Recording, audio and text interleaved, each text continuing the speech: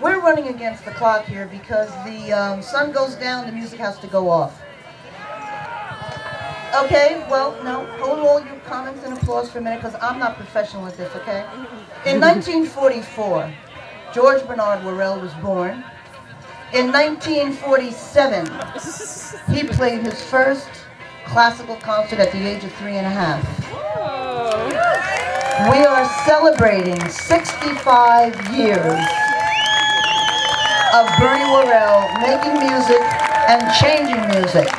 From Talking Heads to Colonel Claypool's Bucket of Bernie Brains to performing with the David Letterman Band.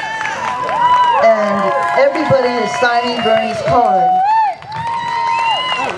We are also thinking back in time here to when Bernie is very well known for the hats he used to wear with Parliament Funkadelic.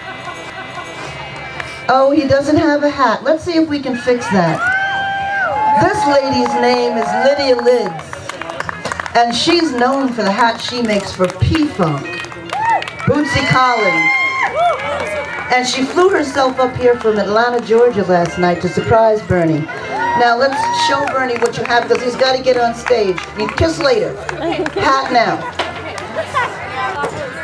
Oh my God.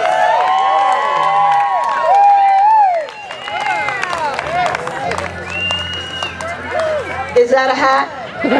now, if you like that hat, Lydia Lids, Lydia, do you have some hats for sale up at the... She has bought some extra hats, and if you don't buy these hats now, you're not going to get them, okay? One more thing, and then I'm handing the mic over. We have a special guest. Well, we have two special guests today. One is the vocalist Charla Funk, in the hat there with the smiley face. And special guest, Felicia Collins of the David Letterman Band, the guitarist.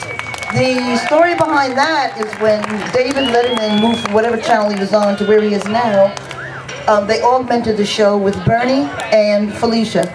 And I'm now going to go because they got to play. All right, so thank you. Oh, and my name, I'm Judie Worrell.